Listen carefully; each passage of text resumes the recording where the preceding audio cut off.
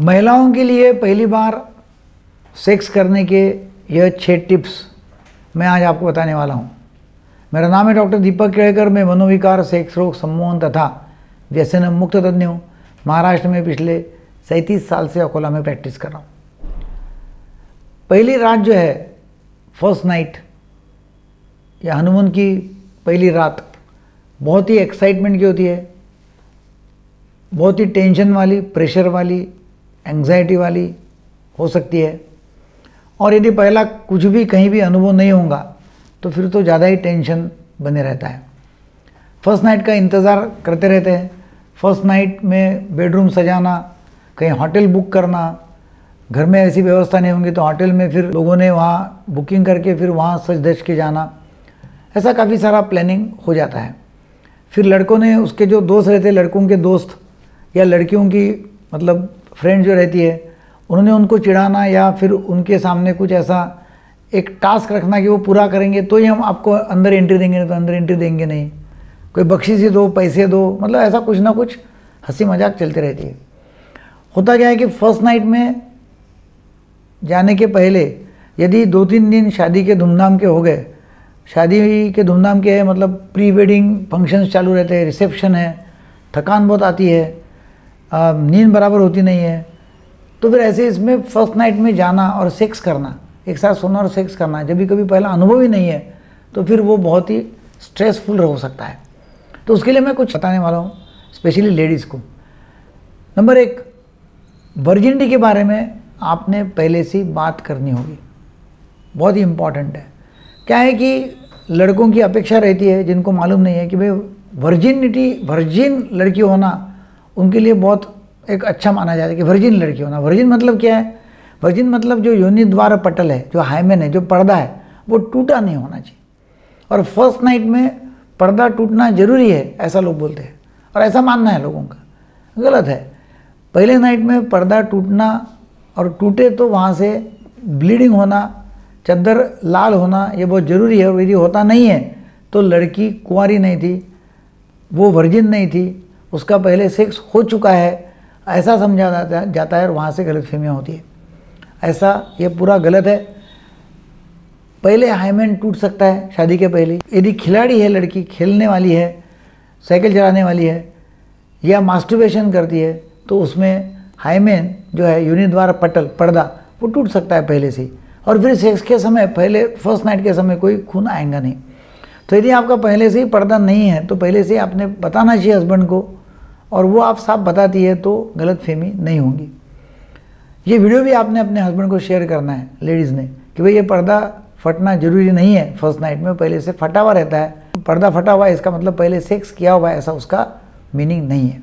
Number एक। Number two आपका पहराव जो है ग्रूमिंग बहुत ही ज़्यादा मतलब फेशियल करना या पहराव अच्छा करना, बहुत ही आकर्षक दिखना बहुत ज़रूरी होता है। इसलिए उसके लिए भी बहुत ज़्यादा एक्साइटमेंट रोमांटिक दिखना रोमांटिक ड्रेस पहनना बहुत ज़रूरी है नंबर दो। नंबर तीन, आँख से आँख मिलाओ कांटेक्ट करो आँख से आँख। उससे कॉन्फिडेंस आपका अच्छा है, वो दिखता है। नहीं तो एकदम नीचे देखना, मुंडी ऊपर करना ही नहीं है, बातचीत भी नहीं करना, गुमसुम बैठना तो टेंशन ज़्यादा निर्माण हो जाता है। समझते नहीं है हस्बैंड को कि भाई आपको चाहिए क्या? आपको कुछ समझता है? नहीं है, आपने, आपका एक्सपीरियंस है? नहीं है, क्या है आपको? कहाँ है आप? कौन से प्लेस में समझने के लिए आँख से आँख मिलाना, बात करना बहुत ज़रूरी होती है। नंबर चार, शादी के पहले ड्यूरिंग शादी के जो दो तीन दिन प्री वेडिंग फ़ंक्शंस तो हस्बैंड के साथ में फ्लड करना ज़रूरी है। फ्लड करना इसका मतलब मेरा जो मैं बता रहा हूँ कि वे मैसेजेस कर रहे हैं व्हाट्सएप कर रहे हैं, चिढ़ा रहे एक दूसरे को सेक्स की बातें कर रहे हैं, कोई सेक्स की वीडियो शेयर कर रहे हैं, ऐसे हँसी मज़ाक सेक्स वाले तो उसमें क्या है कि उसमें ज़रा एक रिलेटेडनेस तैयार हो जाता है। और वो फिर आपको फ़र्स्ट नाइट के लिए अच्छा एक रिलेटेडनेस रहा तो काम में आता है। नंबर पाँच धीरे धीरे करें। धीरे धीरे का मतलब होता है कि पहले नाइट को ऐसा मत समझो कि नहीं, पहले नाइट को सेक्स होना ज़रूरी है। पेनिट्रेशन ज़रूरी है, ऐसा मत समझो। हो सकता है कि महिला बहुत डरी हुई है तो उसने बोलना है कि मैं डरी हुई हूँ सिक्रेशन नहीं हो रहा है, चिपचिपा पानी उसका भी नहीं निकल रहा है, पुरुष का भी नहीं निकल रहा है हस्बैंड का भी नहीं निकल रहा है। तो सेक्स होगा नहीं एंट्री होंगी नहीं। यदि ड्राई है तो। क्योंकि यदि टेंशन है एंग्जाइटी है तो एरिया ड्राई हो सकता है।